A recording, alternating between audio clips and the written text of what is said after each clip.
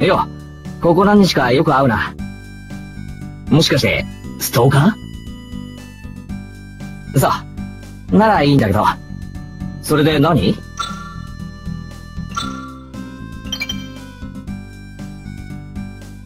そうだな。制服でいいんじゃね？めんどくさいし。洗えば済むからいいだろ。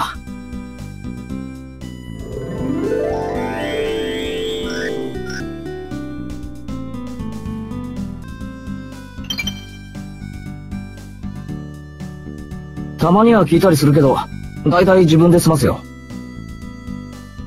お前、人に聞いたりしないのか？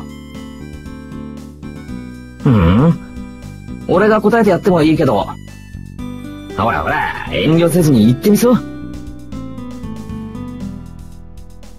ち、面白くねえな。もう見てやんねえ。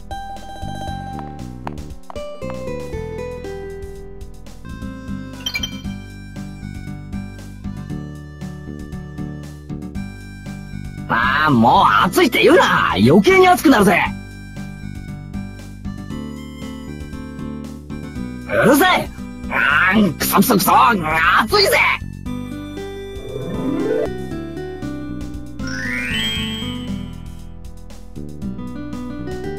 あ、そうだ。お前さ、一日でメール、どれくらい出す？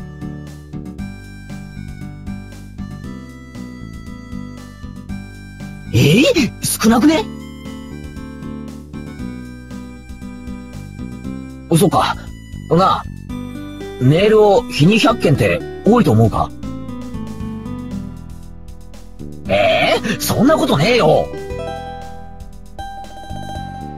知ってるぜ。で、親父が昨日もっと減らせって怒るんだ。減らせるわけねえじゃんよ。友達からの大事なメールだって言っても、聞こうともしないんだぜ、親父のやつ。ああ、もう、思い出したら、また腹立ってきた。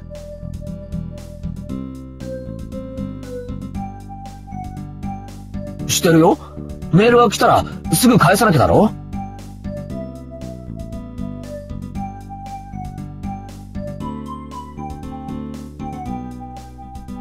でも、返事が遅れるじゃん。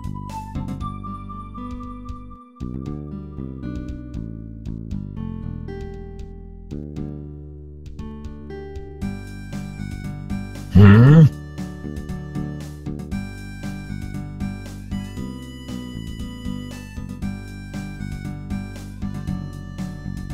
俺もそうしたら、親父もうるさく言わないと思うか？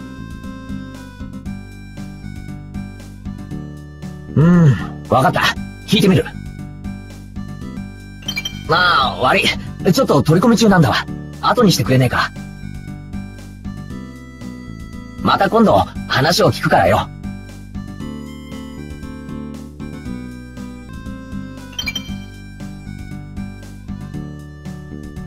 ああ、勇士と組んでる。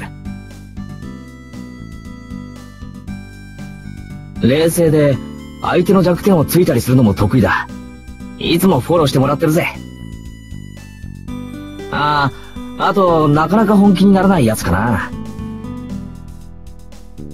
違う違う。そういう誤解をする奴もいるけど、本気になれる状況になかなかならないってことかな。俺もうまく説明できねえや。